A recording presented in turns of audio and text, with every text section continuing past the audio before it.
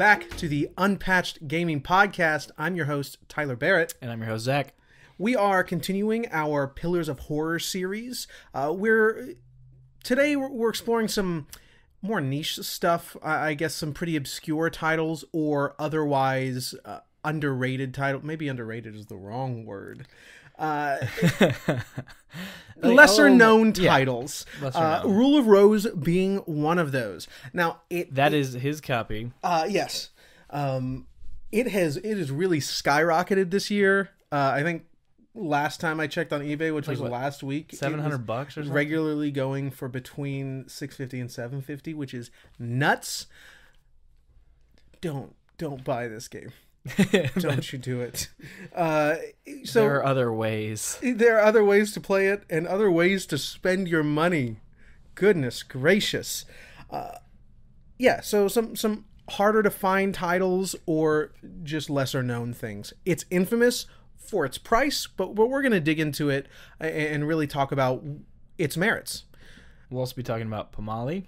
Yes. Be interesting. Pamali, a, a little bitty indie game, and we'll be wrapping up our discussion on Darkwood. Darkwood. We Wow. both got to finish it. wow, this week. what a Yeah. game! Very excited to talk about that. we also have a beer now you you've already you've already started on this uh, Yeah, quite a bit I couldn't i have not myself. yet it's so fragrant this is a uh, triple ipa from elder pine they are in gaithersburg uh, where is that maryland this is dying on the forest floor Aptly named for our discussion of Darkwood today. yeah indeed wow this smells fantastic Yeah, it's really bitter. Just like I mean, a lot of people like the more you know, kind of light, creamy IPAs. You know, I, I like that stuff quite a lot. Actually, we have just the other night I went to Whitestone Brewing uh, up in uh, near where my parents live, and it's great. Really creamy IPA. It's called Keyboard Gangsta. It's it's really good. keyboard gangster Specifically the A. It ends in an A. I'm not just trying to sound lame on purpose. Like that's how they spell it. Yeah. But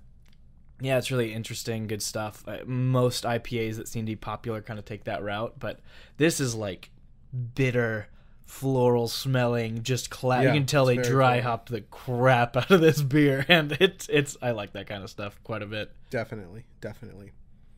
So we are we're going to dive into Rule of Rose first. Uh, as the tagline on the back, back of the box says, it's a story too cruel, too beautiful to go untold. Yes, absolutely. I'd like you to to take it away, Zack. Let's talk about this. Oh, my headphones. You should put those on. Hey, those on. uh, now you can hear my beautiful voice Your beautiful, beautiful voice. So I think uh, I think what we need to discuss first and foremost is that this is an infamous game, Mhm. right? And not only that, now because of its price, but because of the incredible controversy around its release, limited, tiny, itty bitty release. Mm-hmm. Sony wouldn't pick this thing up. I mean, this is a, a tiny game, and all of the reasons that governments banned this game were pretty much lies, like outright lies. Completely incorrect. Uh, I think the one that I took note of was children are get buried alive in this game, which is not the case. Jennifer does. sure. But she's 19. She's- uh, that she's is 19. legal age in all of the countries where this was banned. Yeah. So Yeah, uh, I I recalled the Mass Effect controversy uh, just this morning. I just said legal age as if you're of legal age to be buried alive at that time. uh, no, I meant Correct. illegally an you adult. can choose that to do should that. be that should be uh, clarified there. yeah. Um, I yeah, I rec- recalled the Mass Effect controversy. Like, when was that? 2008. It came out or something. I don't remember. Uh, today we were watching the the Fox News segment with Geoff Keighley from yeah 2008. It was 12 years ago, uh, and you know they're they're trying to claim that there's full graphic nudity and sex scenes in it, uh, and it, it's just not the case. And it- they're trying to make it out like it's uh, like it's basically a porn game, but you know Geoff Keighley's trying to dispel that and, and tell them that you know this is one not graphic at all. Uh, there's just a, a little bit of side nudity barely. And it's like a two minute cutscene if you even are able to develop a relationship with those characters Uh, but it's not just, just, like a click sex button to Yes. engage in sexual intercourse. press press x to sex yeah that's not what's going on here i i am surprised actually Jason. Jason. stop this immediately that is a completely different context. oh my god. Okay. I'm sorry. So, All right, moving on. goodness gracious. okay, let's keep talking. Yes, let's. uh, yeah, so I'm actually very surprised at sort of uh, how tame this uh, s- some of the themes in here are. Yeah. It's you know it does deal with adult themes, Sure. and maybe some of those things could have been handled a with a little more care. But overall, I think that it is it does practice subtlety game. and and it is thoughtful. Yeah.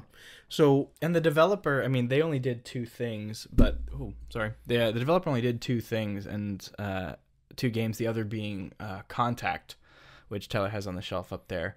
But they kind of grew out of the development studio that initially made like Moon RPG Adventure. What I don't even the whole title, but that you know that game and a couple other games, and uh, that development company kind of split off into multiple and one of those split offs uh, was the development company here uh, who made Rule of Rose and uh, Contact, and that's all they made. That was it. Uh, Atlus it. Pub picked this this sucker up, published it, and that one. So yeah, it's it's a really unique little piece of weird, almost trivial history in like gaming footnote. yeah. Um, but I'm glad we got a chance to play it. I I am too. Uh, Now we didn't finish it. It is well. First of all, we've just had a, a pretty tumultuous two weeks here, playing a lot of games. I just moved out of my house. yeah. Suddenly, you know, your move out date was moved up to right now. Yeah, and so I just was like, "All right, get out, boys!" Yeah. And so I just, yeah, my wife and I just got everything moved out. We're actually living with my parents for a couple weeks uh, while the new house is being finished. So, yeah, needless to say, exciting. it's really exciting. Um, not only that, but then this work week, I mean, I've just been working late almost every day, so it's been tough. But that being said, we really intentionally wanted to play this game together on the PlayStation 2. Yeah. Uh, you have it, so why not? Exactly. Kind of thing. So Now my wife can stop bugging me like, "Why do you spend all that money? You're never going to play that game." and now you played I that played game, that game, most of it. It's very difficult. but not in like the like intentional difficulty. Not like Darkwood. Darkwood is a incredibly well designed game. Yeah, difficult, very well balanced. This is okay. Difficult is the wrong term. It's broken, broken beyond belief. Truly, in I- that sense, in the in the combat sense. sure. Yes. Everything else works. Uh, I, I think some other things are poorly designed, but they work Yeah. the way they're intended. Uh, the combat, however, is a broken mess that will likely impede your progress, and it did for us. Yeah, an enjoyment, unfortunately, in a lot of Yeah. ways. But that being said, we'll get to that. I I think one thing that I'd like to make sure that we discuss is what a lot of people would come to a Rule of Rose discussion with, if they were already aware of the game's existence, is what makes this thing interesting? Is there more to it than just it being rare and hard to find and people know about it? Mm-hmm. You know, is there something else there? And as you and I have kind of delved down the YouTube rabbit hole and kind of done a little more research, there are staunch defenders of this game. It does have a cult following in some sense, who all acknowledge, of course, its fa- faults and its flaws. But I think it's very interesting to see that there is a following who who adamantly defends this game as um, deserving of a cult status. So uh, that is there. So, but for us, let's talk about the horror. I think that's where we should go first. Yeah. Okay. Um, I. It's definitely a horror game. It, it fits uh, my boxes. You know, we we talked about those before. That's sort of the, uh, you know, stripping stripping away of the player's empowerment. There's sort of like some some scrappy survival involved. Obviously, the tone and the the, the atmosphere that's created uh, does invoke many elements of horror. And so I- it's hitting those boxes for me. But it also has a very particular brand of horror that I don't see very often, and it- that is, you know, the the really demented kids, the, this orphanage setting. What I mean, most of the game is not actually in the or- orphanage, but that's a big theme in the game. And those mixed with a lot of the really gruesome imagery evokes a lot of the stuff that I I find creepy, and I don't think it's horror specifically, but well, I mean it's it's horror, but I, I I was never scared Sure, me at neither. all playing this game. I was consistently disturbed by by seeing. It's a very good, uh, I guess, way of describing it. I think that hits the nail on what I was going to say too. How the horror's not really in the gameplay. Like when you and I were talking about Darkwood, it's dude, you can only see this much. You turn around, something's there. You hear something. Like that's building that horror through that gameplay. Something that you and I both find really interesting. Every scene that I think of that was jarring to me in Rule of Rose, something that you know disturbed me, to use that really good word, was like a cutscene or like a little moment in the in the details of you know body language or the the design of the characters Mhm. Those are the things that stand out as horror uh, uh, to me. The things that disturb are all in those pieces and when you watch these videos of these people who really defend this game they're mentioning those kinds of things. This is what stands out to them because it is really well done. When you start the game uh, you're you're this girl 19 year old girl named jennifer and you're on this bus going to visit the orphanage you grew up in. And on the way there's a, a little boy at the front of the bus who comes back to you and says finish the story please jennifer finish the story and it's just this you know storybook with just a couple pages that's obviously about you and um the and this bo- is like a thrown together storybook. Like it's some stapled pages and yeah, and a, a kid made it with you know, and like these kind of very crude drawings, and uh, most of the chap in between chapter moments in the game are done in that style. It's very cool actually, and what I love is you get off the bus, you chase the boy, you're trying to get towards him, and when you finally get to the orphanage and get inside, there's not much to do, like in terms of gameplay. Like you need to go follow the kid up the stairs, done. But you can go into basically every room and look at all the stuff there and you can pick up some items that are just like a photograph of, of the of the orphanage you know residents and the instructor and the maid and stuff and it's interesting because it seems like something that'd be more useful at the end of the game when you know the context and the story but it puts it right up front and lets Mhm. you explore and these very detailed little rooms and items in there and if you like that kind of game and are willing to overlook a lot of the faults i would say go for it and don't don't spend the $700 for Don't it but spend the seven hundred. it might be up your alley it might be something that you would enjoy playing Yeah. if that's the kind of stuff that stands out to you There's a lot to be seen in the environment, and the story is primarily told through cutscenes. If if you are, are able to you know get through some some pretty consistent frustration, yeah. well, I I say the the combat isn't a huge part of the game, thankfully but it's But such a it huge is- flaw. It, it, some and of it it is does nearly impede progression. Yeah, it's uh, does impede progression a lot. The bosses are, if not difficult, then extremely frustrating. And there are little moments where you, uh, the part that we finally said, you know what, forget it. You get barricaded in by a bunch of the the enemies, and you have to just in this small space defend yourself and and fight them off. And unless you have like a bunch of healing items, there's not much you can do. Yeah, because the so some of the ways that it, it's broken is that you know you're swiping and your hitbox is really small swiping like with your knife or something like that whatever weapon you're currently using your hitbox is really small and, And when it it's not like small, the- it's hard to discern where it begins and where it ends. yep and then the enemies hitboxes are typically pretty unwieldy And they can dodge. And once you've committed to a hit, you you have to engage combat mode by holding R1 and then start you know slashing. You can't dodge out of that. You can't cancel that. You're you're in it now.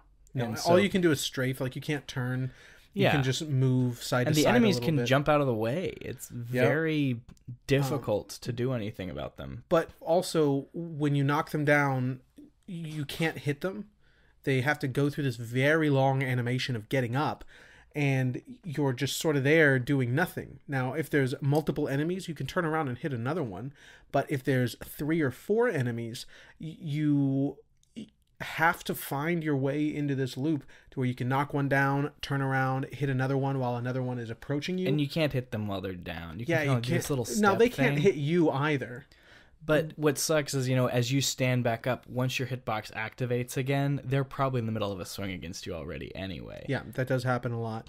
So it's it's incredibly frustrating. It's it's not well designed. and the developers will admit that, and, and they have uh, that they did not have the time, and so they focused on the parts that they felt were more interesting and important in the game, and rushed this out. I love uh, Thor Highheels. I I really like that YouTube uh, channel. If you haven't checked him out, definitely do it. He's he's extremely underrated in my opinion. He should have way more viewers. He reviews a lot of interesting, obscure, weird games, and intelligently too.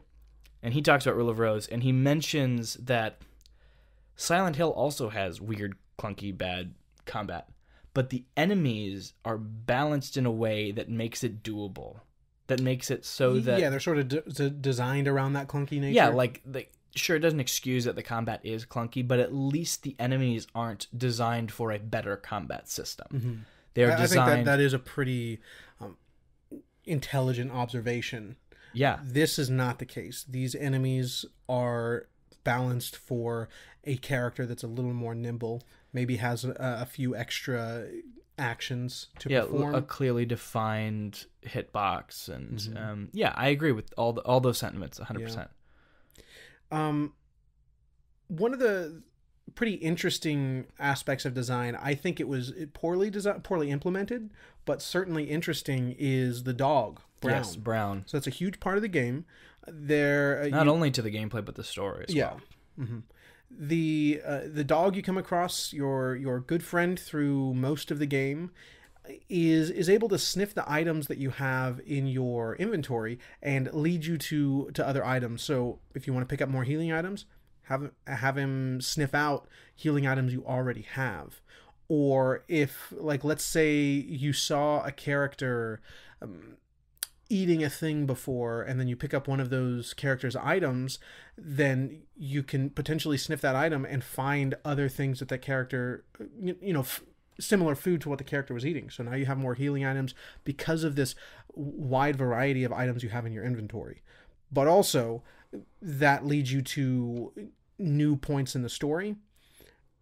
So like let's say you pick up someone's um, hairband or something that's going to lead them to their room where you find them sobbing and then they run out so you take the book that they were reading and you you sniff that out and that book has a different owner. So it's leading you down this uh, chain of items but it's oftentimes not uh, optional it, it, it's pretty mandatory through the game that, that you do that Because the airship, you're, you're on an airship too. You're not in an orphanage. Once you once you're in the orphanage, you then kind of go into this kind of dreamscape esque, uh, basically a, a large blimp. You know, uh, picture of the Hindenburg, right? Just a big, large blimp. Kind of. Uh, it's based on another disaster, though. Actually, um, I don't remember which one, but and you're kind of walking this huge from from end to end. You know, in the game, you're you're going all the way to one, all the way to the other, as you play the game and it's uh, it's a lot and without the dog it would be in because you don't have the dog at the beginning and it's like Yeah. where do i go what am i supposed to be doing Yeah, it's uh, it's it's pretty difficult to maneuver around, or it, it it's easy to get turned around without being without having that waypoint. But because it's mandatory, oftentimes, like I guess I some items won't show up. yeah until so and they've been. if you don't have it activated as a sniff out uh, the find feature and you don't have him sniffing for it you won't be able to see it to pick it up yeah, yeah Uh, so that's a little frustrating. It it really boils down to the, the dog does boils down to uh, just a waypoint marker, like you'll see in Bioshock. You know that big arrow at the top of the screen. it's just better than those around. things. It's better. Or Okami. Oh my god, I just yeah i don't mind it I don't understand how.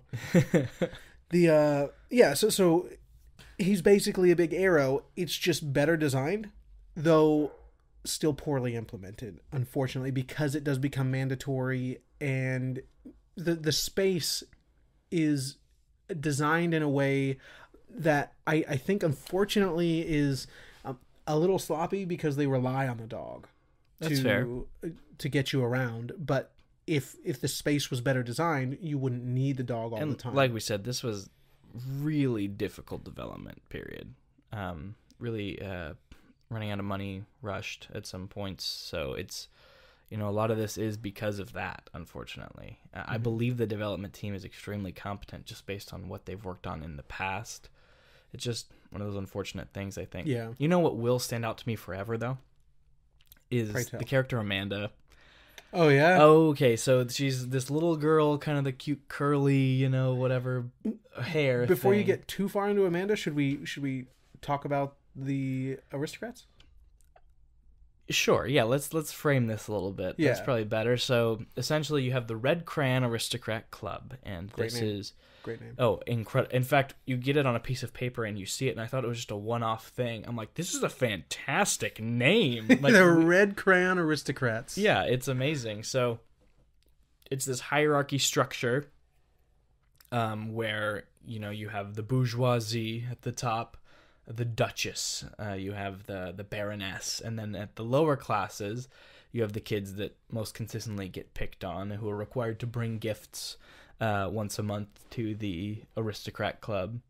You have uh, And your character is of course as the new lower- girl as the new girl you start at the bottom as the beggar. And right above you is amanda the poor who was their previous pick on kid uh, before you showed up and so amanda is this extremely broken little girl like at a disturbing level where she's been constantly bullied constantly made fun of but she needs to participate in this system because then at least she you know might have the chance of not getting bullied Mhm. you know uh, and it's extremely disturbing to watch her just break further throughout the game as as they pit you and her against each other and she starts to hate you uh, extremely Yeah, and there's there's a scene in the game where uh, the the first time that she has to uh, harass you in whatever way, whatever sort of hazing that she's tasked with putting you through, she knows that you're going to surpass her in this hierarchy. So she's like begging you to harass her in this particular way. Uh, because she knows it's she's in between gonna be her crying turn. and laughing and she has these chubby cheeks you know the little girl and uh, what she's what, probably like what nine yeah 10? probably around there. and uh and she waddles everywhere and she again the going between this disturbing maniacal smile and stare to this weeping impish you know like please Yeah. don't hurt me and you can see it in the uh, the main cutscene or the the opening cinematic, which is it really takes you through just about all the themes that the game is going to be dealing with. it was the it's most very jo- I- long. when it was done, I realized this is the intro cinematic. Like I feel like I've been here for hours just Yeah. watching this thing and I have no idea what's going on. And when you finish the game, you have the context to understand each moment, but it's it's a work of art on its own, honestly. It's very well put together. And you know what we have not mentioned is the music. Yes, uh, one of my favorite parts about this game. I think this. I was listening to it this morning, and unfortunately, it was accompanied uh, accompanied with a slightly traumatic event. Uh, but I was listening to the soundtrack this morning, and it is an absolutely stellar orchestral uh, soundtrack. There's some, uh, at least one track in there that's like a, something you might hear from. Well, darn it! What is Amanda's favorite game? Spiritfarer. No, it's No, Spiritfarer. no, no. That's I, I thought you meant like that she's playing now and listening to the soundtrack a lot. no, Fallout. Something you'd hear from Fallout. Oh, Uh, interesting. sorry, I just had a blank. Uh, you know, like 30s, somewhere between the 30s and 60s. Uh, it's it's really old music, but it's written, I, I believe, specifically for this game. that gramophone Uh, kind of yeah, yeah. Uh, that's that's a great soundtrack. Or at the very least, like the story is structured around that song. If it if it wasn't written specifically for the game, uh, but the the the screeching violins are implemented in a way that aren't just there to sort of you know pull you into whatever scary scene is supposed to be happening right now which i think is you know violins are maybe overused in that manner but they'll like pluck the violins too. yeah. Tick, tick, tick, tick, tick, yeah it's really creepy and it's it's not intended to you know warn you of a a jump scare or something like that this is really just to get under your skin just as you're you know walking through a, a well-lit living room with a plush couch there's this plucking violin and like something is just getting under your skin. It's You so can't handle good, it it's really really good. Uh, i love it. Yeah, it's, it's a great sound. I, I agree with you 100%. 100%. And I do think that the atmosphere and the um, the aesthetic design, the character designs, each character has, you know, so much there's so much backstory, so much so many reasons they are the way they are. And as you uncover those pieces and start to put them together, these characters grow into their caricatures that they're presented to you as. They're presented as these very over the top um, exaggerations of themselves, but then as you put their backstory together, you see why Jennifer is perceiving them that way. Because a lot of this is in her mind, right? As she's dealing with this, the traumatic events at this orphanage, as she's revisiting it and trying to put these pieces back together, right? She this is the way that she perceived these events and the way that she perceived these other girls. But as you, the player, start to put the pieces together, it makes more sense to you. Mhm. And it's really that's that's why I kept playing for a long time. Why I pushed through the insanely difficult bosses. There's one that maybe isn't difficult is the right word, but it's a mermaid in this bedroom, and she goes up to the ceiling, drops down, tries to attack you, and you just have to hit her. She goes back up, and I mean, it takes ten minutes. It yeah yeah right around 10 minutes it's just exhausting Yeah, that's like it's a good. there's nothing report. interesting about it i mean the design is interesting Sure, like the actual the design reason of the, the reason it's there it's like a uh, a young girl who's been strung up from the ceiling but by her legs and the the rope that's wrapped around her is made out to be the and her feet like protruding from the the coil of rope she has like It's- gills carved in her and stuff. yeah it's pretty disturbing Yeah. which which again most of the game is uh, just the the thumbnail for this video is uh, really at the very least evocative Yeah. it, it's uh it is something Um, but I do think that for some people, again, there there are those who I think would get a lot out of this, but it's definitely a cult status game. Mm-hmm. Yeah. You know what I mean? It's the kind of thing i think where rightfully so Yeah, I agree 100%. It's the kind of thing where, you know, I watch Monty Python's Life of Brian and go, not everybody would like this movie, but I know who would love this movie. You know what I mean? Mm-hmm. There's just, uh, it's one of those kind of things. Uh, but I think on a much smaller scale, there's a very small audience that I think would really get all that you can out of this game. I, don't, I definitely don't think it's for everybody, and I can't think of anyone off the top of my head that I would recommend it to. You know? but uh, I do think you know, regardless of all, all its flaws, it's it's worthy of that status, and it's it's Me got too. some very interesting things going on. A lot of the interesting uh, gameplay mechanics. Well, really, there's not many mechanics. The dog is interesting, and I maybe we'll check out Haunting Ground next year, see how that dog is implemented. Sure, I think that's totally valid. I would love to just play Haunting Ground. Sure. Uh, just just see how the dogs stack up. Uh, but you know, it's got a bunch of flaws. It's got a lot that is very interesting and I, I I agree with your sentiment. Yes. I wouldn't agree cool. to everyone, but uh, I mean uh, recommend it to everyone, but I I can see the value, not the monetary value. Sure, that, but I can be see very the value clear about that. it. Yeah. Yeah, I'm I'm very curious to see if any listeners are like really into this game, who are really staunch defenders, and I'd I'd love to just hear from Mm-hmm. them. Like, what is it? When did you play this game? Why did it impact you the way it did? And also, can you, you know, if you did purchase it for a pretty high price, can you separate Can you justify it to your wife? no, no. Can can you separate you know, trying to justify your purchase by saying it's good? Because I I think that's a maybe less valuable uh, criticism. I agree with that. Um so yeah, taking away the price, where's the value in the game? That's what I want to hear about. Cool. Definitely. What's next, man? We got Pamali. Pamali. Or uh. Pamali, I think is, Oh. is how it's pronounced. Uh, so uh, Pamali is a an Indonesian horror game. The full title is uh, Pamali Indonesian folklore uh, folk horror. Folklore horror. Folklore horror. So this is a uh, Kickstarter success from I think uh, two or three years ago.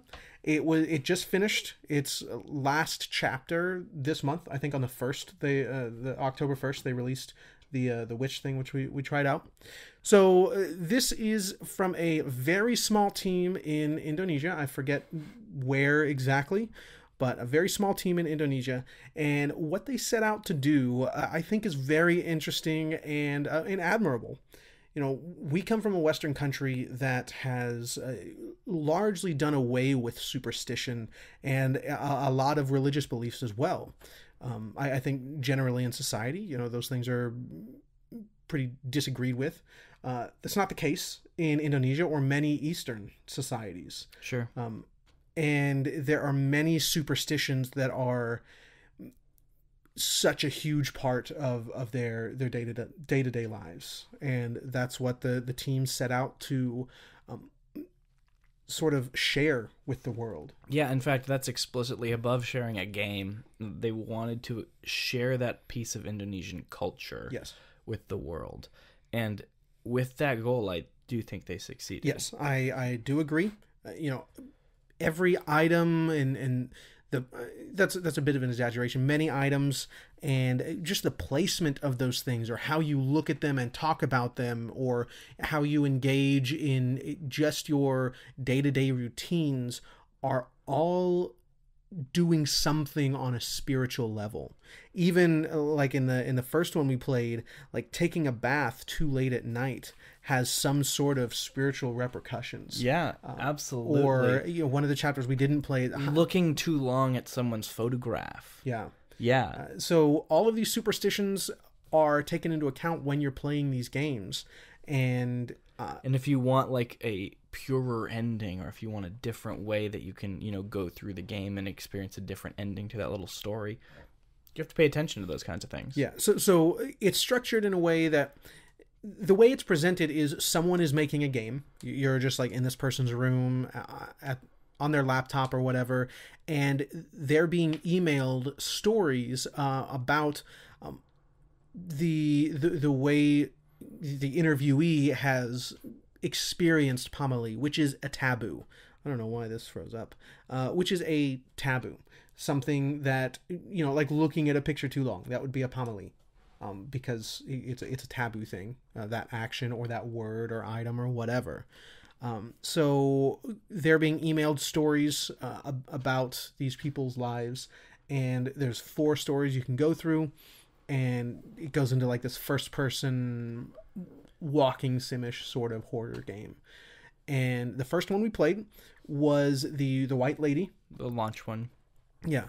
So that involves someone coming coming home after a long time. Their parents have either moved out or died. I forget, moved out maybe. Um, no. So they're they've inherited their parents' house. W- where are the parents though? I forget where the they they died. They died. Okay. Yeah. yeah. So the, the they've inherited the parents' house. They need to sell it for the mm-hmm. money. Yeah. Uh, but their sister also died some time ago, and her ghost is haunting the house.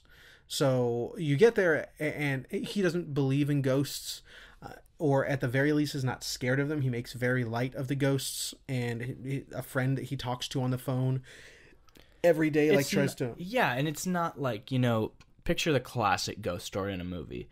Like you know, you go to the house, thing weird things start happening, you start denying it. You know, you oh no no no, it can't be anything weird, and then something obviously strange happens that is unjustifiable, and you still go, no no no, there has to be a reasonable explanation, and until you you know really start to add it up, then you go, okay, something bad's happening. I need to get out. This is very different. It's there's probably a ghost here. Like it's normal. Like you know, there's probably a ghost here, and I'm. But I'm he's not scared of them. Yeah, yeah, So I guess he does. Uh, given the culture, he, he, likely believes in ghosts, but he's not scared of them. But he, it's all yeah. It's it's mo yeah. It's normal. Like it's a, you know, sure it's a little creepy for him, mm-hmm. but it's not. Um, it's not like the classic blonde reaction to the ghost in the horror story. You sure, know? sure, sure. Uh, so uh, as you're, you're going through these three three or four days, you have to clean the house, sort of get it in order for whoever's going to come survey the home. Um, you do finally see your sister's ghost. Like things start happening, and yeah, he understands it's a ghost right away. And the, the goal then becomes to uh, put your sister to rest. Yeah. Uh, were you able to finish that? Yeah, I did that. Did you get it on your first try? Uh, I, yeah, I had to play it twice. yeah, I got it the first time by pure luck because I couldn't find the coconut, and I was like, "Where's the coconut?" Oh, I couldn't find the coffee. Oh, really? Yeah. I found that pretty quick. Yeah. Um, so yeah, you you finally realize that you need to put your sister to rest, and there's a little altar in her old room, and you're supposed to bring four items, four or five items that she really uh, liked to this place, and, and pray. Sort of, yeah, pray, and then put her to rest. Yeah. Now, what I there's two things I really like about this. Um, one, and this is just for all four stories. Uh, I think the the UI is super minimal.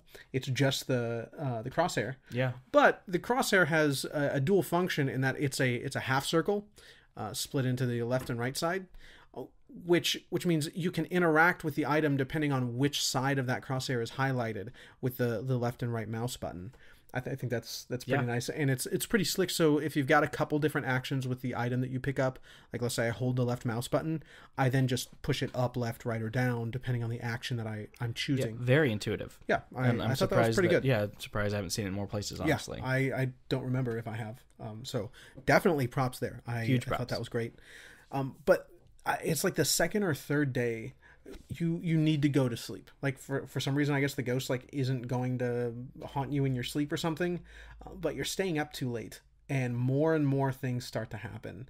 And this is the the night when I died. I decided I wasn't going to go to sleep. I, I was looking for the things, and uh, shelves started opening, uh, you know, cabinet doors and things, and uh, more and more sounds were coming around. And like I saw her down a hallway and stuff, and uh, the the music really started to creep in, and the camera start or like the the lighting starts to fade on the sides. What is that? Like a vin? I forget what that effect is called. But anyway, uh, and then finally the the story ends, and you spent too much time um, scared by this ghost, and uh, you don't achieve the goal. Sure. And then it gives you a rundown of all of the uh, the pamali that you interacted with. I think that's pretty interesting as well. Yeah, and so like you get to that's the part where you're being taught about the culture, right? Where you go, "Oh, because I did that the ghost was offended or because I did that um I was negatively impacted by it and some sort of karma uh some sort of karma, right? And it's it's really interesting uh, how they structure that and want you to learn how to interact with this world in a way that is respectful. It's it's really interesting. I liked that. So I think it's a pretty decent first impression. Uh, the game has is pretty rough around the It's edges. very bare bones. Yep. Uh, yeah. Um, Until it's a low budget. it's very low budget. Some of the controls uh, leave a lot to be desired, but uh, that first um, first story, I think, was was very well presented for what it is. They achieved what they were going for. It's a little frustrating. You have to clean, and that takes a long time. And you know, Uh, yeah, uh, it's it's not a very well designed game, but for what they were going for, you, their goal was yourself, achieved. Uh, the the game sharing the game was not the express purpose. So yes, I think their goal was achieved, but as a game that you're wondering if you should play, you know, for The horror. the obligatory. Octo- uh, October horror games, uh, maybe not. It- It's it's a hard sell on Steam. Well, no, you can get the first one for five dollars. So there's four stories. Uh, you can get either the whole package for fifteen, or buy them buy the first one for five, and then the other three are DLC for five dollars. So I guess for five dollars, that first one, uh, sure. I, I I've spent five dollars on a skin before, you know, in in a game. So I think it's a pretty good experience for five dollars. Um, the newest one though, which is which is the the other one we The played. Hungry Witch. Yeah, we only played two of the four. The Hungry Witch that came out this month. Uh, this one was I think they tried to go a little too big. Difficult. Yeah, Tried to go a sure, little too big. A little too big. Uh, take it away here. Yeah, so I mean, the the main problem is a lot of it's not intuitive. A lot of the really, you know, intuitive, easy. They give you a list in the first story. You know what to, what you should be doing, what you should be taking care of that day. The character has written down a list of what he needs to take care of. A lot less intuitive in this one. You don't really know what you're supposed to be doing. Uh, you you know, there's a portion where you're supposed to find a branch, uh, something to break this branch, and I looked around for 15 minutes and finally looked it up, and there's this really obscure location where there's an axe, but you can't see the head of the axe, you only see the handle. Yeah, so it looks like so it's tucked under a sink, and I was in this kitchen for a long time. A long time. I yeah. I was like, oh well, I'll go there. If it's not in the tool shed, okay, fine. Maybe I can find something to cut in the kitchen. And so yeah, it's tucked under the sink, and I didn't excuse it for a pipe or something like that, but I just it didn't catch It's like my a handle of some sort of kitchen implement. Yeah, it it was completely shrouded in in the shadows, and I I couldn't see it. Yeah. Uh, And so that was frustrating, but that's that's the least of it. Sure. And then, you know, you get to um you get to another portion of the game where you've encountered this this uh creature and you The Hungry Witch. the hungry witch and you're having to deal with it. You realize, you know, I'm this kind of have this magical power inborn in me because of who I am and I need to defend myself with this uh ceremonial knife. Really cool again the culture coming through there. But uh, a little clunky defending yourself. Uh, the same little click move kind of stuff, but with a timed reaction. And eventually you fall and you go into this kind of dreamscape, and you have to explore these extremely tiny rooms and in the correct order put together these um, notes and find these you know Was it a correct order? uh, for some, not for all of them. Hmm. Um, but in the room that you're talking about, the most frustrating one, there's this room littered with paper. I mean, newspaper. Not just littered, but it's the wallpaper as well. Newspaper clippings and photographs have been uh, taped to the wall, and, there are a bunch of little notes scribbled uh, that are really hard to see yeah, in all of it. It's so and not only that, there you need to find four notes, but there are like eight notes, and some of them are ones you you don't need to take. at least eight. Well, you don't even have the option to take it. No, no, no. Some there are there are four notes that you have to take to put in these little bowls crumpled up, and there are four other notes that you can just take and read and put them back, and like it's like why is that there? like, yeah, and they are so hard to see. yeah. It took me a while. Uh, I I had to look at a guide. I was not putting up with that. I, I was quite frustrated, unfortunately, by that point. Um, and then I I was unable to. Uh, you know, I had some obligations. I thought I was going to be able to finish it in time, but I had to leave. And the next portion right you just at the take yeah. The next portion you just take some torches, burn some funeral pyres, and then you learn how to kill the the monster, and you show back up in the in the real world, and you go to this you go to the graveyard and you you kill it. Um, unfortunately, I was I was actually like you know a little bit I was unsettled in the first story. You know, I just can crawl a little bit here or there. I'm like, oh, that's a little creepy. Like, um, I wasn't. I was again more a little more. Fr- it they I think they doubled down too much on the game part of it. Yeah. Um, and uh, they they did go for a couple jump scares there.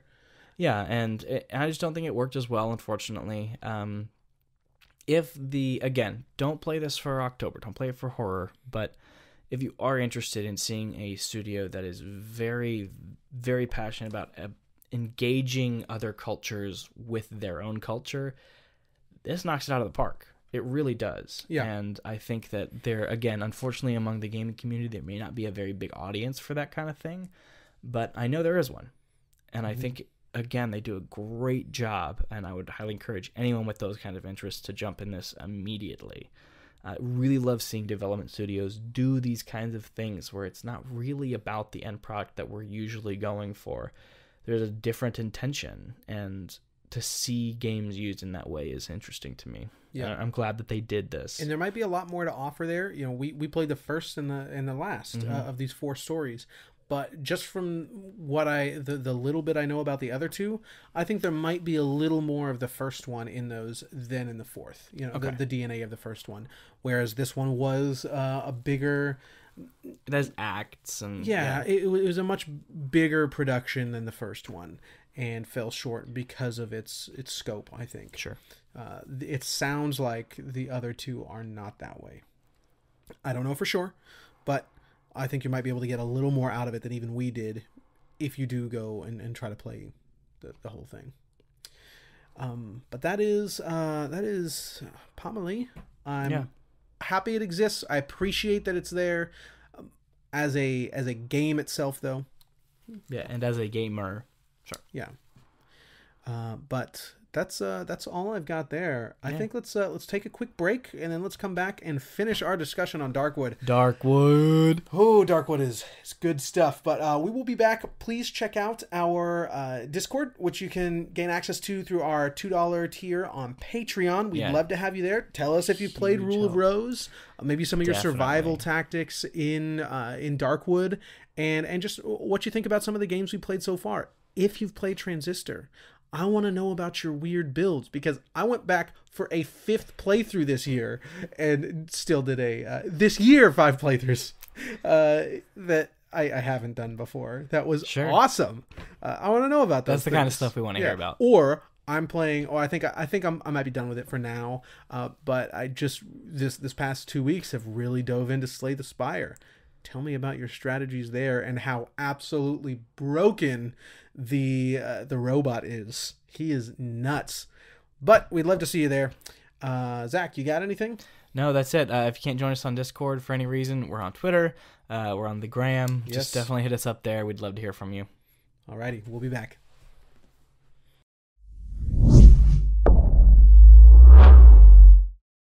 Welcome back to the Unpatched Gaming Podcast. We have finished our break and are here to talk about some really not some a damn good game. Yeah, I I got to be honest with everybody listening right now. This game took me by storm. I was Yes. not expecting to like this game this much. I knew I was probably going to like it, Mhm. but man, and honestly, I think we need to talk about this. Chapter 2 is where the game I mean, cuz chapter 1 is amazing. We obviously loved it playing it, but chapter 2 takes everything that was great about chapter 1 and just takes it to the next Several levels. yeah, it's it's incredible. Uh, yeah. So I'm very so excited to three talk about it. sections in the first area. But real quick, if you haven't listened to our Oh, yes. first part, our previous episode uh, does cover Darkwood. It's where we talk about Lone Survivor and Darkwood. We didn't finish it, so we only talked about the first half of the game. We'll also be putting this into hopefully a kind of one whole cut together Darkwood. yeah. So uh, check that out. Uh, it might be a little lost. Uh, there will be spoilers for the second half of Darkwood here, so uh, be prepared. Yes, uh, big spoilers. We're going to be really diving into everything, even up to the multiple endings, because I think we may have gotten something different. I don't, I don't quite know. I think about the same one. Okay. Um, well, I think there's something about the end that might be a little different. But point is, Oh, yeah, yeah, we're going to be sure. diving in definitely. So, uh, as we talked about last time, there were three areas in the first uh, chapter of the game. Yeah, and they all we show up about on your halfway map. through the second. Yeah, yeah, they're all there. We're about halfway through the second one, so we we finished that, and then through the, through to the third, and then finally we're in this fourth area that isn't on the initial where map. chapter two begins. Yes, and it's it's a huge area, um, probably roughly the size of all three areas. Yeah, just about Um, and and it's the swamp. yes, the swamp. Uh, I think that's where this game shines. It it is an absolutely stellar experience. But to clarify, it's not one of those. Oh man, you got to get through season one. It sucks, but then season twos were like really good, man. Like it's not yeah, one it's, of those. It's a great game up to that point, but takes everything that it has taught you, that you have learned on your own. Um, it, it ramps up the challenges in, in many different ways, but also the the world it's building takes on a new form in in the swamp, and uh, and I love it. I love it a lot. Once again, man, take it away. Yeah, okay, so I kind of want to start with why it's structured that way. Why do we have a chapter 1 and 2? And I know from a from a, you know, crowdfunded standpoint, it's that chapter 1 is what we were going to build and chapter 2 is what we were able to then build on top of that and to expand it. But it never feels that way. Like if I didn't know, I wouldn't know. I that this is know. Yeah, and so I think that when you look at this game and how it's structured, it's so intentional. You you get to your your very first part of chapter 1 and you're just learning how to just even scrape by. Chapter 2, the story elements really start to take center stage and you're still kind of learning how to survive a little better. The the third part of chapter 1, the old woods, is brutal in comparison to the first two. Like in comparison to the first two, that in fact, I would argue even with the swamp, it's the hardest portion of the game. Is Yeah, the old woods. because of what you're still learning. Exactly. And honestly, there's so much there that you're learning as a player how to play. And it's so funny because when you go to the swamp, you can only bring your inventory space with you. Like in the other areas, you could ring this bell and you'd get all your stuff delivered to you again. You can't do that in the swamp. You you have to bring only what you can fit in your inventory, and it's like starting over. But it doesn't feel that frustrating kind of starting over. You know, it's that all right, I'm prepared. I now know how to survive from the ground up, and I'm gonna do it. And I honestly, it's weird for horror game too. Felt the horror shift from the old woods horror where I'm actually scared, nervous about the night, to a little bit more like I've adapted to this environment. Mm-hmm. And There's a particular level of empowerment that comes in that second chapter. and the game uses that Yeah. in such interesting ways, uh, both from story standpoint and from a gameplay standpoint. And that's kind of what I talk about is why have that chapter one, chapter two break, and how the developers use it. Um, I think that there's this shift in the way the horror works too. You know, uh, I just mentioned that, but I want to kind of dive a little deeper into that and talk about how the horror becomes more the body horror expands in a lot of ways. The body horror you mentioned. Uh, talk about the musician. I want to hear about that. Yeah, so in the second area you meet a young boy who uh, who's been peeping on this uh, this woman who you is part of a um, sort of a side quest that you've been um, that you've gone down with the Wolfman. We mentioned the Wolfman last time as well, and he's he's sort of one of the central recurring characters. So he's he's after this woman. I guess they were. Well, he lies to you um, about his relationship with this person, who who's pretty grotesquely obese. Something has uh, made her body bloat. She's bedridden and she's just oozing over the sides of these the side of these, this bed. And uh, this this young boy thinks she's absolutely beautiful and, and wants to marry her but the wolf uh, wants her for other reasons, which are revealed later. Uh, you you meet the wolf. Uh, at least I did because I you know we did different things there. Um, I was able to give the wolf the key to her room, and because he lied to you about what his relationship is with her. So anyway, when I meet the wolf later, I I go into his room. You know, we're just pals now. Like our uh, contract has uh you know has ended and so now we're just pals that have both survived in this wilderness uh in in this forest and you you go into his room and you now see what is labeled as half-eaten corpse of a giant woman uh and he just wanted a snack. Uh so that was gross. But you uh you befriend the this young boy that's been spying on her that wants to marry her take her away from this place. And when you finally leave to the the third area or the fourth area the swamp later like i was there for maybe five or six days before i found him. There's a locked door in the uh in the place that you are the safe house that you're in. So a locked metal door you cannot get through it. But one night you just see it open. And uh, again something that we we sort of went over last time was that you can see faintly the furniture moving or the doors opening but you can't see what's specifically in that room. Uh, and, and i think that's uh, kind of like what the the senses do in games like the witcher or i believe they do this in that uh, like robot dinosaur game on ps4 whatever that's called Horizon, uh, where where you can see things on the ground like scents and things like that, which are technically just like a waypoint marker, but it's trying to get across the point that this character has heightened senses. So it's kind of doing something like that. You, as a real person, would know that you know the door in the hallway is opening because you can hear it and you have an intimate knowledge of this space. Yeah. So trying to get that across. Anyhow, uh, you see the door open. And so the next day I go over there. You know, I'm, I'm, I'm huddled up in my room. I'm not going to go check out what that is. But I go there the next day and he's hidden in the corner of this room.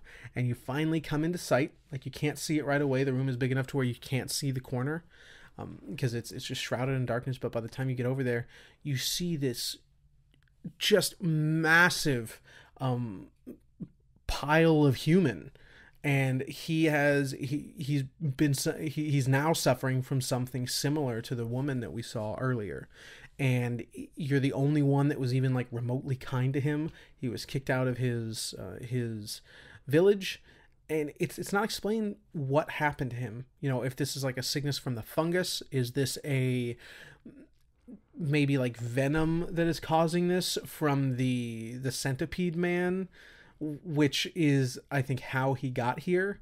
He like fell into one of the centipede's holes and you see in the village in the second area there's just these these few holes around there and there's like two eyes poking up and he's like these Little, are my like, holes yeah it's it's obviously two eyes but You- You get away from my eye holes. yeah, yeah. Uh, you you just see these two eyes down there, and he's like, "These are my holes. Get away." And the way I think every player will interpret that is, it's just another crazy villager. But when you get to the swamp, there are giant holes around, and you find the centipede man. And so he's connected these two areas, and I believe that no, I don't believe he that boy did fall into one of those holes and crawl out in the swamp. So anyway, you meet him. He's he he's so scared for his life. He's apologizing for his looks and he didn't mean to intrude on your new home. It's a very nice home. Please just let me stay here. I'll stay out of the way. I don't need much. Uh, I just need this room. So you leave him there. And I left him there for like a day or two and then I went back to visit him and he he was like quivering and, and scared and thanked me for visiting again and so i start visiting him, him every day and he like he's like giving me treats. He'll like catch a, a mouse which which will like heal you for a long time.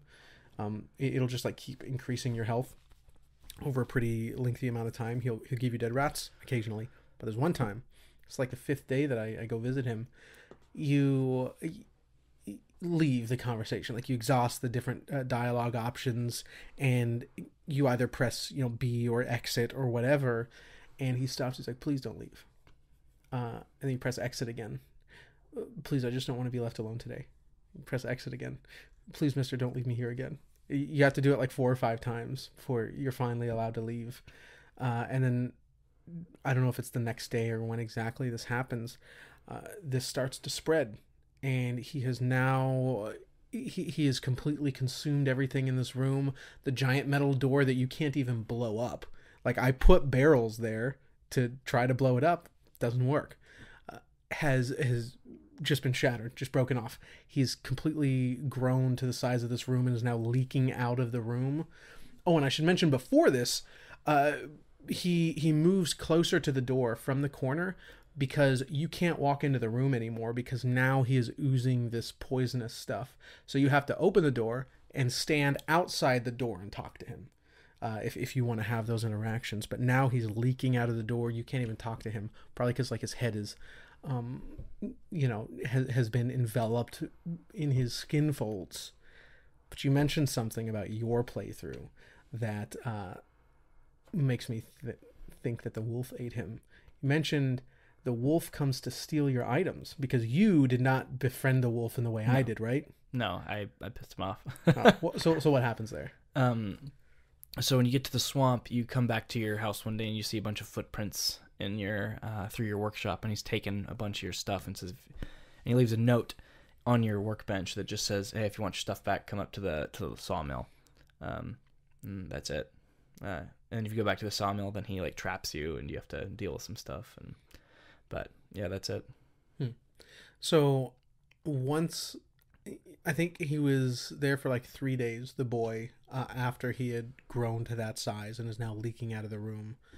Uh, I come back one day after being out. Like I had visited him in the morning, he was still there, and then I come back later that day, and there are footprints leading uh, from, or I guess like to and from that building. Uh, they stop, so I don't know where they go eventually, but they lead out of my area for a little while. So I wonder if the wolf came to get him. I'm sure Yeah, that's a that guy. I hate him. I hate the wolf. he's interesting. He's interesting, but he lied to me. He lied to me. Yes, he did. Uh, yeah. So, uh, I, I think that's what one of the the greatest things that this chapter does is really focus on the story. Now, yes, the the survival gets harder, but you also get stronger. Have a much better knowledge of how all the systems work. So even though the difficulty is ramping up, you are you as a player are likely much more confident now.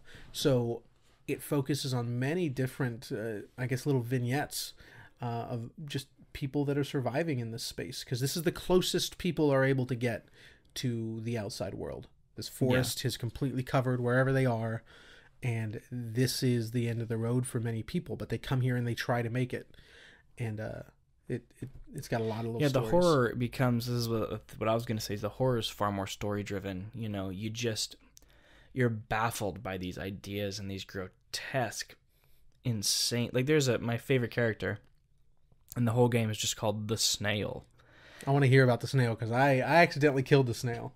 So- accidentally, I was not gonna do it. Yeah, so you you come across this clearing. You're told that there's a uh, a piece to fix this oxygen tank compressor, so that you can get some uh, oxygen in the tank, so you can breathe underwater uh, to make it to some significant areas in the game. Now, what's interesting, and what I think is just super bizarre, is as you're going up this road, there's just these along the side these you know, kind of, think Uzumaki from uh, you know the Junji Ito, where it's just kind of these bodies twisting into that shell formation, and they're kind of and it's just it's like a hallway of just these bodies, uh, and some of them are still twitching, and it's very bizarre. And you come up to the house, and the house has been crushed beneath this massive snail shell. I mean, as big as the house. It's Yeah. huge, and you just see you know just the snail go back in its shell, and you're like. I'm gonna go there, and so Yeah, you right? you run around the house, and uh, there's It's a a little gross noise. Oh, you're welcome. Uh, there's a little little chink in his shell, and you can break through it. And you walk in, and it just you know it looks kind of like a normal snail. At if you're not paying very much attention, it just looks like a normal giant snail. Uh, you do see like this weird hand, like human hand on the ground, uh, that's made of that kind of same mucusy snailishness. Uh, and I love it because you go to talk to him, and it's just this snail head, drew, as if it was just like pulled down like gum around this uh, this human skull. That's like the jaws coming off. Yeah, and, it's it's really and he's and the first thing he says is you're so disgusting like you're so ugly, repulsive i can't look at you and and you're just like i love this guy. Yeah, just, but he he specifically mentions that you are gross compared to other humans he's seen, yes So- and which brings us back to something you mm. mentioned in the first episode about what are you becoming, injecting all of these abilities. yeah and we'll we'll talk about that when we talk about the ending i think mm-hmm. but it's important to bring that up that you find a body right outside of your base at the swamp and you can take its head and it's this bizarre deformed it doesn't even look like a human skull anymore it's been like bulged out into the you know eyes the size of these giant flies and a little like kind of organy heart looking thing coming off the bottom of it and you you're like it's very much implied that that's probably what you look like now What? yeah Where is this? Outside of your base? right outside the base. Uh, and a little journal. It looks just like your journal, but it's been deformed into a bunch of fungus, like the journal itself. And so I, it's very heavily What implied. is Yeah, happening? yeah. I did not see. I'm this. telling you guys, the horror becomes so much more subversive, and it gets under your skin and makes you oh you my think. god, what is Yeah. this? It's an incredible game. But you're talking to the snail, and uh, he basically just asks you to cut him free from this thing that's holding on to him, and you kind of see this large vein going out back, and you kind of solve this little puzzle and see there's this huge mucusy, beating, membraney heart, and you can destroy it and let him go. And you and he goes, I feel it. I've been set free. She's calling me. She's calling me. I need to go. And you know, you let him go, uh, and the next day he's not there. But when you go down to look at, uh, there's basically two ways that I know of to exit the swamp area, and one of them is behind this radio tower that is just plagued with these enemies called banshees. And this is a banshee nest, and so if the adults see you, your screen starts to shake and blur, and darkness creeps in, and their face appears in the middle of it. Impossible to see anything really, and just this Yeah, like it's, it's a- horrible I mean, they're screech. screeching banshees. That's what banshees do. And uh, but the problem is they they're easy. You walk up, you stab them, but then they like kind of drop all their eggs or whatever, and their little banshee babies that look like de- like halfway formed baby birds that just crawl across the ground. They just start chasing you, and you just can't melee them if they get you into a corner. Yeah, Uh, so very difficult. all I do is just take the pistol out and shoot. Unless maybe you had a knife or something uh, that could swipe really quickly, but your typical melee weapons, uh, useless. yeah, they're very. unless slow. you have a big space. If you have a big space, you do you can do pretty all right. Anyway, uh, you see that the main pathway down to the radio tower has been blocked off by his shell. It's huge, and you see it's shattered, and you just see him like ripped in half Oh no! like his little like tendrils of snailness and humanness mixed together like trailing behind him and just all the banshees just like were eating him and just So is the is the banshee nest open at this point because they're occupied with? i don't know i killed snail? all the banshees at that point already i'd already defeated all Oh. of them I didn't uh, on my first go around because you can sneak past them. yeah and i did a terrible job and just ended up killing them because Yeah, I wonder uh, on uh because I pl- I played with the controller. You played with mouse and keyboard. Do you have to hold the shift button to run? Mhm. Oh, okay.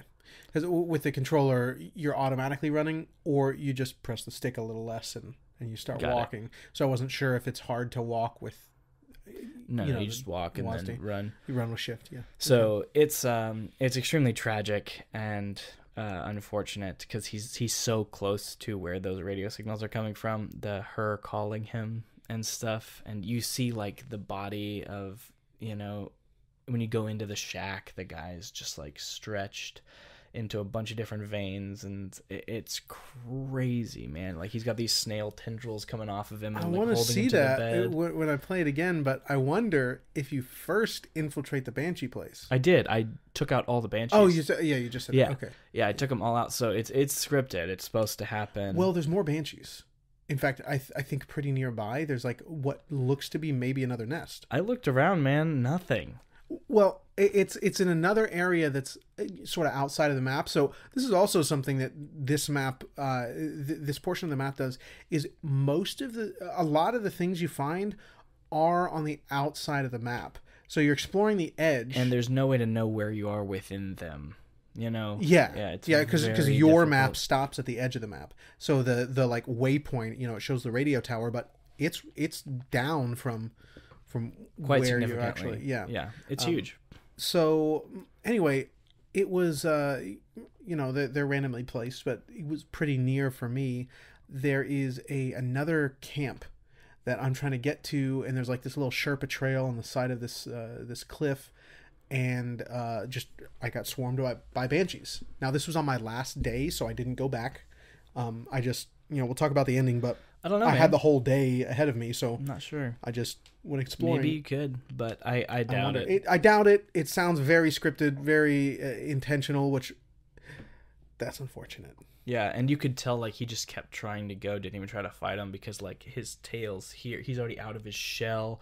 His, his the tail is here, and then like Oh, no, the rest of him is like you could tell he dragged on a little further without his back half. Like Oh my god! brutal. Well, you know, if, if all of that comes across so clearly, that is just testament to how uh, awesome the art is in this yeah, game. the environmental storytelling is brilliant. Yeah. They yeah, they do an incredible job. one of my fa- one of the more tragic moments uh, that I experienced was the um the the family that gives you the air tank. Yeah, so, it's, So- they're called the elephants because they all have these huge, long nozzled oxygen masks, Mm-hmm. right? Yeah, it's interesting little. So I'll let you talk about the the mushroom granny in a moment. Uh, she's one of my favorites. But you're to get one of the extra oxygen masks that they have. You you have to go get her son back, who who's run away for some reason. This this woman's son. She's got three kids, uh, and so you you Four bring him back. Four kids. uh, you you bring him back, and then you're given this tank and The oxygen your- tank Yeah, the, the to oxygen fill tank. to, to traverse these other areas. Correct. Now she has she's talked about up to this point how important these masks are. She's trying to keep her family from getting infected from the fungus that she lives very nearby, um, and th- they are not allowed to take their masks off to prevent becoming infected. So you you're inspecting the tank you're given and you sort of open the nozzle and it talks about like it hasn't been used in a long time you sort of break it open a little bit and uh and it makes a point to tell you that your character understands this is an empty tank. There hasn't been air released like nothing is coming out of this tank. It's empty. You're going to find a need to find a way to fill it. But the the mom then rushes over and like closes it really quick and says you're going to waste all the clean air that's in there which is implying that she is living a delusion in thinking that she's keeping her family safe, which is very sad. Yeah, but which is yeah, it's I mean, even if she did have oxygen, it's a delusion, you know, that you're safe in this horrible, horrible place. You know? Sure, but she thinks that there's clean air in those tanks. Yeah, it's very well done. not. Very well Yeah. done. Uh, yeah, her son has essentially run away to the mushroom granny who lives in the mushroom woods. Uh, very fairy tale. The Mm-hmm. more I say about, it, the more I talk. I mean, the whole thing is very fairy tale inspired, but just say it like that outright is just great. And then he traipsed into the mushroom woods to find his mushroom grandmother. and uh, yeah, there's a couple things you can do with her. She's very kind of passive. Um, but the weirdest thing that probably happens in the whole game Yes. is you finish your intro conversation with her and you're given your conversation options one of which is always gossip you can always gossip with the with the characters so it's gossip exit and eat the mushroom granny what? yeah that's like it's just as if like Yeah, oh, I yeah stopped for like at least you get three minutes. Just like no What? no do this task first no be this awful as a person just it's deep- just there, just as as if your character option. just goes, "This is a thing I could do." and uh, Tyler, tell me about what it was like eating. Because you did not eat the mushroom. I did not. I I got the key from her. Um, she let me in, and the kid willingly came with me. I carried him back home to his So mother. he's been locked in a room in the mushroom granny's house, and I also got the key from her. She's she's pretty clear. She's like, yeah, if he wants to go, you can you know take him, but um yeah, he's he's over there, and you unlock the door. You talk to him, and there's a few dialogue options there. I think I must have chosen the wrong things because he's uh, screaming and wailing, and your character mentions this is going to be a very long journey, and it's like next door. You're just it's it's a very short yeah, journey. very short journey. Um, but he's not looking forward to carrying this kid home. Uh, so I must have said the wrong things. Um, but the granny is like, leave him here. He obviously doesn't want to go. And so I wasn't sure what was going to happen. And so I think I captured it this way, but I was like, oh, am I actually going to do this? So I put the kid down and I closed the door. And my character's just staring at the door. I'm just staring at the door. And I'm like, oh my God, am I really going to do this? I slowly turn around. I look at the granny and she's just sitting there rocking in her chair. So I click on her to engage dialogue. Oh my god, am I really gonna do this? And I click on eat granny. And And it is the most delicious dialogue. yeah, I mean, it talks about sinking your teeth into her and like the spores releasing from her forehead and like ripping off of her skin as though her skin is a soft mushroom. Which uh, we should talk about the gran- the mushroom granny a little more. Just her character. Uh, she's like smoking mushrooms, uh, and. It, the mushrooms have started to grow on her and in her like her hair the er, the top of her head is, Is now earth. growing mushrooms Yeah, and but there's like earth and like little spin. Her hair has become spindly grass, and like it's Yeah. just it's very weird richly detailed. it is very richly detailed so is the as the description of eating uh the mushroom granny i don't remember honestly this is like the least important part about it i don't remember if you get any sort of like buffs from eating those mushrooms but yeah the description is very explicit about how eye-rollingly delicious eating this mushroom granny is it's just Uh, disturbing. and and then I open the door again and I take the kid home and he was silent the entire way. He just stares at the mushroom granny as you you leave the house. Uh yeah, that's that's that was really But nuts. that's this game. Like this game is so full of those moments and especially in the swamp where these characters are really starting to come into their own uh, the ones that have you know that you experienced before and the new characters are all so you're familiar with the world at this point, and you're these things as you stumble in the mushroom granny house it's no longer this what is this? Why am i here? What is going on? It's what are, what are you hiding from me what do you need what do i need from you you know it's and you've become more competent as a player Yeah, Um, and and I think it gets that point across very well when you use the uh, the journal, which we haven't mentioned very much. Just as you come across Yeah. buildings and things, you'll see in the corner a little, notification and uh, like the the that sound effect of a scribble in his notebook. You'll mark something on his map or make note of something uh, of importance, like you know if you need to reference what happened last time you encountered the mushroom granny if you didn't finish all of that in one go you can flip back in the notes to see what happened on that day when you encountered the mushroom granny um, and, and, the descriptions are great there's very, a lot of brief. character in them they're yeah they're very brief but they're not uh, like mechanical yeah uh, I mean, they do serve a very important purpose, but there's so much character in all of those Absolutely. notes. And he talks about like like I think I don't know if it's the mushroom granny or the snail, uh, but he mentions how just like absolutely bizarre that is. But that's par for the course now. yeah he mentions uh, yeah, that. he mentions uh, just like I guess I'm used to it. Cool. And that's the feeling that you need to get playing chapter 2 is this is no matter how weird the swamp gets, no matter how how much it pushes the boundaries of what you've expected from this game, that you are now in some weird sense in control of the environment of going. Maybe not like you're not in control of the environment, that's the wrong way to say it, but you are now in some sense able to function within this space competently. Mm-hmm. You as a player, you as the character, you both understand how this space works. And if eat mushroom granny comes up as an option there's that moment of what? And then you go well i guess i gotta eat the mushroom granny now. You know it's just and that leads perfectly into what i want to talk about next which is the ending and why i think it works so well. Mhm. now there are multiple endings. There are. There is a true ending uh, which i did not get I was very eager to see what happened at the end of the game and skipped a lot of the stuff that was pretty obviously trying to say there was more going on here. But I didn't skip it. I uh I failed the the other ending. no, no, no. The, this this alternate ending happens regardless of which way you get out. Oh, interesting. Yeah. Okay. Yeah, I failed that as well.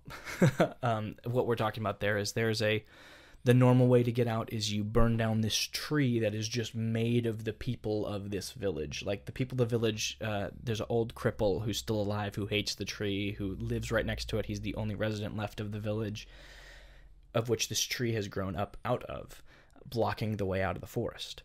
And he talks about how people would just get up in the middle of the night and walk towards this tree, never to be seen again. And the tree grows bigger and bigger, and it's just this horrifying um, mesh of bodies. What is that uh, Neil Blomkamp short with the giant amalgamation of bodies that is just a monster? I don't remember. Yeah, it's like that, but a tree, and you can barely Is understand it what the it's one saying. that's set in Vietnam? Zygote. No, no, no, it's Zygote.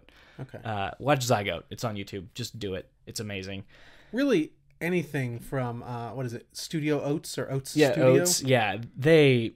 If it's not fantastic, it's at least insanely interesting. yeah So- or funny like the the cooking shows Oh my there's there's a few episodes of like cooking tech like new cooking tech That's from like just the super 80s. graphic and disgusting. yeah it's really gross like I, I won't describe it, but like super biz- bizarre stuff like we're talking about now, uh, those are hilarious and yeah. just look it up. It's on. YouTube. Just do favor. Studio Oats. Uh, but yeah, I wanted to mention for sure that there are multiple ways out. Uh, one being to burn down that tree, which is what the cripple asks you to do, and the other you go to that radio tower the banshees are are nesting in, and you know the code to the door, which is really bizarre. You, like you realize the door is locked you, with the code, and you start looking around, and then your character goes, "I know the code to that door."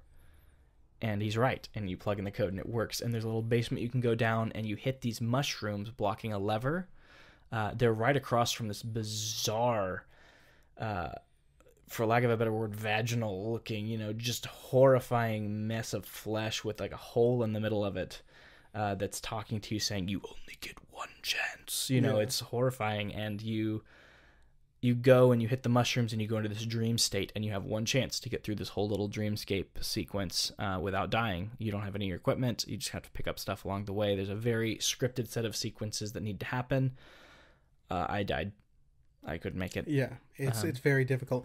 I also can't get this out of my head. I I think there's a word for that. I think I heard it was once uh, like the the female equivalent of phallic. Uh, I think it's yonic, which is very odd. I've I've never heard that actually used before, but I just I'll have to heard that somewhere. Yeah, I have no idea. I'm not trying to correct you. I just can't stop thinking of that word. beautiful Uh, no that's, uh, that's anyway. perfect Um, yeah, it's very difficult. yeah really hard i didn't get through it but uh, regardless of which way you go uh, you come out onto the the way out it's the road the road you've been looking for and you see countless other people on the road who have been craw- like who are cross one guy you see the cripple still trying to crawl his way out and you see just a hundreds it feels like it's not actually hundreds but it feels like hundreds of these other bodies that have kind of started to grow into a root structure just trying to escape. And the thing that sets you off right away is going why am i still walking out? Why am i still why am i not why is this not happening to me why am i still getting out? And you come out and you see i mean power lines. You see power lines. Like right out of this. Like just immediately outside you see power lines. And you walk you walk down these power lines. It's extremely surreal. You come across an old lady feeding pigeons and the pigeons fly away and you find your apartment and you go up to your apartment. And, and the whole time you know like you you're just walking and you scare the pigeons away and she's like great now they're gone and then you're like walking uh, you see someone uh, like having a smoke outside of the apartment and they You say hey neighbor or something like that. yeah you or- recognize them and then your you character recognize says everybody. hello yeah It's really weird. And you go up to your apartment, you see the janitor, um, and you go into your room. You take off your jacket. Uh, it gives you an op- You click on the closet. You can take off your jacket. You you go get your key for your bedroom. Maybe get ready for bed a little bit. Open your bedroom and you crawl in bed and go to sleep. And that's it. that's it And the best part, this is before I looked anything up about the other ending, before I looked up anything else about the game, is I immediately felt I don't belong here. And what's worse is I don't, I think I want to go back yeah to the woods. And for me as a human player to feel that, not for the character to tell me that's how he's feeling, which he doesn't. He looks like he's very content, actually, to lie in bed. and uh, more to that point uh, there's also an option to just like sit down and have some soup he has Mhm. someone living there who you know you've been gone for a month but it, someone has been like anticipating your return and left some soup on the stove for you Yeah. that day that you just reheat and have some soup it's very much you know without even thinking about it like this is not right. This is not right. It's not it, it, this is not who i can be anymore.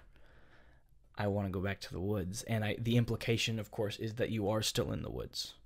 Who would know you're coming back and has that soup ready for you? You're probably massively deformed haggard disgusting and nobody comments on it. It is this surreal perfect cherry on top of this game. And I looked up the other ending, the true ending. Um, i so i've talked about spoilers a lot i don't care very much about them maybe can we refrain from that one I will on purpose. Uh, I looked it up, and I like this one better. really Um, the other one is far more cathartic, much more fits in line with what the you want from a game, specifically this game. This ending is a horror ending. yeah this ending is the I don't care. It's it's like the Inception thing where I believe at the end of Inception that he decided um, I'd rather live in a dream. He decides I know it's not real. I this is just what I want. I want to feel this way. I don't care how it affects other people. I'm just I'm done. I'm done. Done wrestling with this stuff. I just want to be in a dream.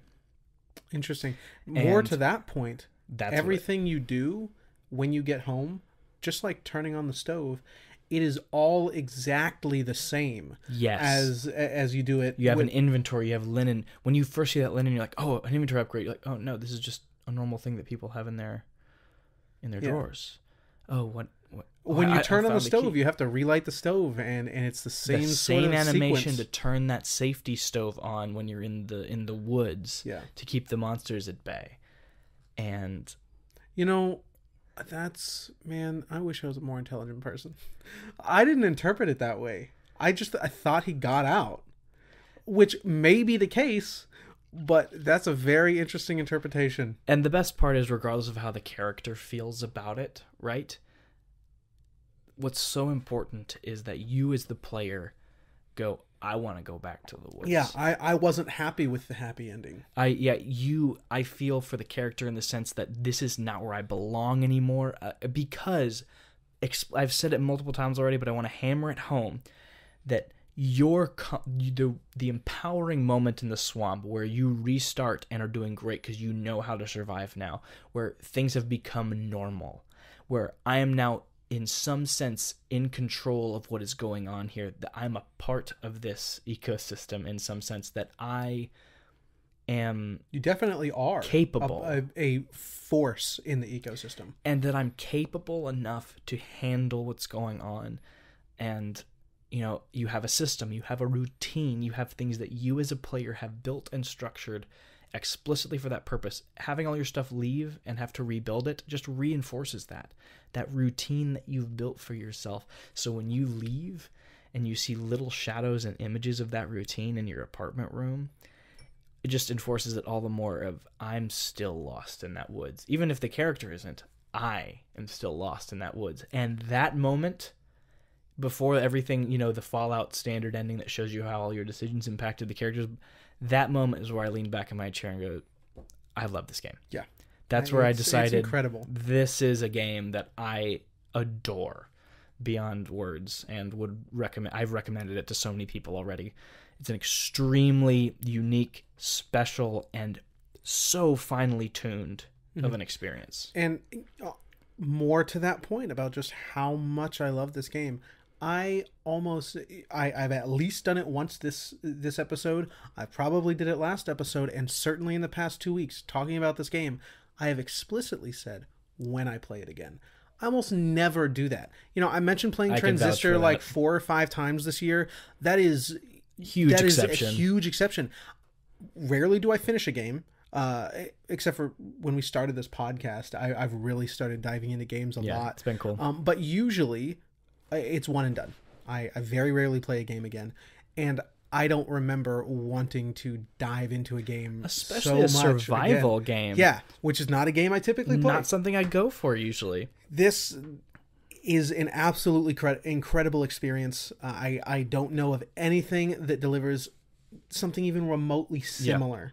Uh, this is is a one of a kind gem. I'm really, really looking forward to whatever Acid Wizard does next. I think that they're Did they do anything before? I don't think so. Wow. I think this is just Wow. their yeah.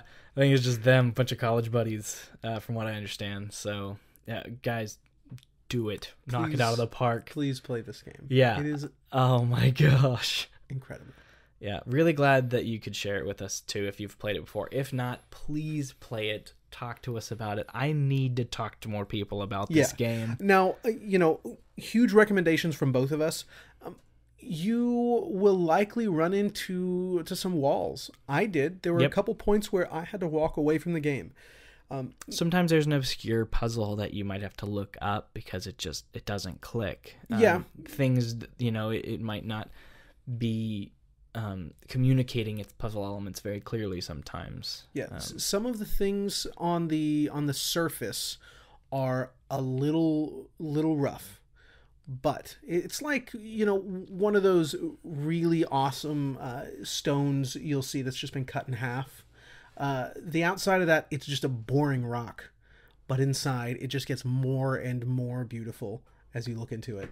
Uh, I like that. and that's that's what this game is going to offer and I, I can't recommend it enough i know some of those edges are rough there will be some times where you get very frustrated but if you can press through i, I think this will be a one of a kind uh, gameplay experience for you Yep. So play Darkwood. yes Play please. Darkwood. man happy we got to share that. Uh, I I don't have anything else on it though. Nope, uh, I I'm might good. next time I play it. Maybe I'll try hard with those. What is it? Four lives. I Four or think you five get. lives or something. and then and then there's one more difficulty where it's just straight up permadeath. That's, That's insane nuts. to me. That is nuts. insane. But now you know it. You mentioned uh, last time like you you've done the first area, uh, but now we've done the second chapter, so we could probably go through the first chapter very. I have a very strong feeling that uh, anybody who's played the game once already and has that competency that you can you can really rush through it like really know what you're going to build know your routines already know how you want to tackle this know how you want to tackle that yeah, and like you know, you've it- it- become a part of the woods already Yeah. you know Uh, like it was just about uh, to the third area where I realized just how awesome the basic branches you get from the uh, from the savages are. They they have what is likely the uh, longest reach in the game. They they're weak. You can hit like four or five things with them. They break pretty easily. But in the second area, you've got those larger dogs that run at you. Well, when you hit them, you completely st- stun them. Like they, they roll over, and it's it's a huge reach. And then by the time they're finished with that animation, you can have a, another attack ready. So I picked up all of those and and would have like three or four slots in my inventory ready with branches because so they're really good. yeah Uh, and so you know now that I already know that, that's the first thing I'm gonna get. You know, sure I can upgrade it to a Shovel or to a shovel or something, but yeah, I mean I'll probably still do that. I'm trying to like justify the branch after you already have the shovel, but for for beginning weapons, that's good. Yeah. that's really good. And so when you when you already have that knowledge, uh, you know, you it told me that the Molotovs were incredible. Yes, they are. yeah real, Yes, especially those first two areas man just like if you get in a bind just burn baby But I have this thing where like I don't know how valuable a consumable is or isn't, Sure. especially in a game like this. So I'm very good at just going, you know what, let's try it. I'm sure if the game's balanced, it'll figure out a way to fix me, Mm-hmm. you know? uh, so I like I didn't use the gun until halfway through the swamp. I had a gun for a while. Yeah, you told me, like, oh man, these crocodile monsters, they're super hard. They're gonna, I'm like, I'm like, I'm sneaking around them at every opportunity. If I see them, I will not even go towards that area. And then one of them attacked me, and I just grabbed my shotgun and kill it in one hit. And I'm like, oh, cool. yeah.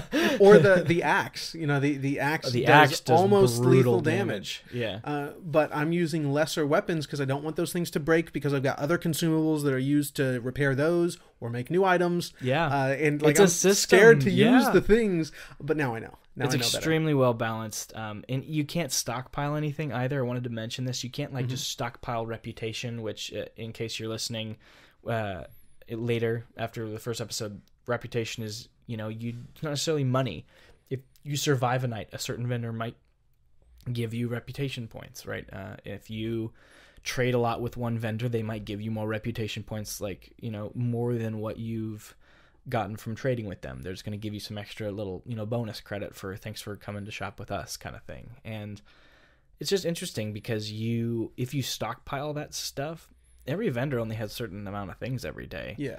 And so, you know, I remember being at the end of the old woods and you know, you have to have scrap metal to repair your shovel.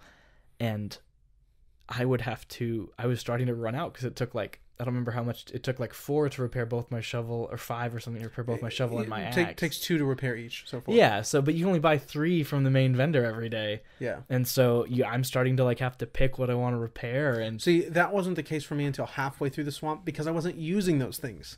I had a ton of scrap metal. oh, but I then use them to make bear traps incessantly. Yeah, you know, I I found that the bear traps weren't really doing it for me. I, they I hold them in place. yeah, So like if three guys come in and you catch two, you're facing one guy at a time. yeah. Uh, but I didn't put them in my room. I put them like outside of the uh, the Oh. windows and stuff. No, it's not helpful. Uh, yeah, it it wasn't working out for me very yeah, well. if you because if you if they break in and they get stuck, then you can go take them out. But anyway, But then you um, have to dismantle it because if if no one does break in, no, you just walk around it. You just sure, put it a but so could they. Uh, you well, sure, but rarely. Like you, I make it to where you, I can just barely sneak past. You, you should try playing with bear traps. I I might. I always have them. I will Always have definitely them. play with the Molotovs uh, a little more. And did you know you can uh, you can eat the the odd meat that you get? Um, no. Yeah, it gives you uh, a healing boost, like a pretty significant healing boost, and an armor boost. What? I didn't know that until my last day. That's insane. Yeah, well, what I'm 'Cause you assuming is an armor boost, uh, like the the icon for for whatever that Sure. ability is is like scales. yeah, So I'm assuming it's it's an armor boost. Uh, but yeah, it, you can you can eat that stuff. that's awesome. And then it- one of the abilities, uh, which I never used, allows you to uh, um, eat mushrooms to survive. Yeah. Um, what I did get, and I did not know how good it was until again, like halfway through the uh, the swamp. The the one that lets you eat wood to heal. Well, I didn't do that one. Yeah, because wood is pretty common, and you can buy I think like fifteen or sixteen 15 from the day. vendor every day. Um, but it heals. Uh, I think half eating one piece of wood slowly heals half of one of the bars. That's crazy. Uh, so you can eat without uh, before the the health upgrade. Four pieces of wood will heal you fully. yeah, I got um, the health upgrade right away. Yeah. I was like, oh, okay, here we go. Um, so I I selected the the like survivalist thing that lets you eat the wood and and heal pretty early on, but didn't use it. Scream was my favorite. You know, I ne- I had it, literally never used it, Never. not a single time. Because I forget all the I'm- time. there's so many things I'm. I'm if I'm surrounded and dying, just scream. I forgot about it every single time, just like the dodge button. I forgot every single time it would have been relevant. I forgot I was. It was there. But yeah, I mean, just I don't have anything else to say about it either. Really, uh, just to sum up, play Darkwood. Hashtag Do play play Darkwood. Darkwood. Uh, but really glad you guys could join us today. Uh, really, really like this game. Uh, hope you get a chance to check it out. Uh, share it with us. If you've already played it, definitely let us know. We will probably be making it one of our monthly playthroughs on the Discord um, if one of us starts playing it again. So keep an eye out for that. Uh, we would love to have you join us. But take it easy. All right. Thank you.